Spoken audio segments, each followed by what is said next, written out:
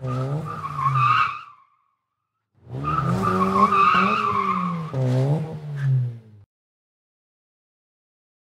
video is brought to you by SpecDtuning.com.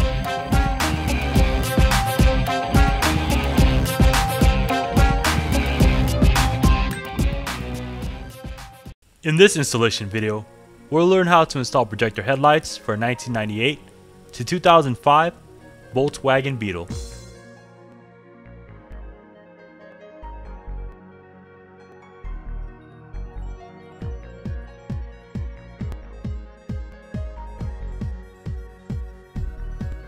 After the hood is open, we'll notice that right under the front fenders, there's a clip. Once a clip is pressed, we can then release the locking mechanism for the headlights. Once the locking clip is pulled up, we can simply come over to the front of the headlights and wiggle out the headlights slightly, that way to expose the back of the lights. Once the headlight harness is pulled out, the headlights are now free.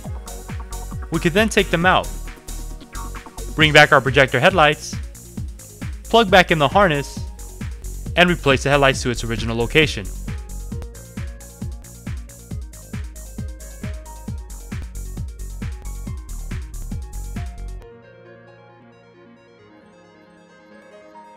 Once the projectors are securely in place, push back down the locking clip.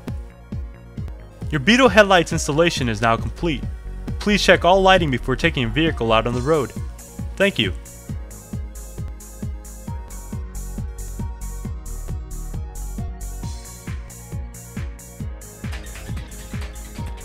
Thank you for choosing SpecD Tuning videos to assist you.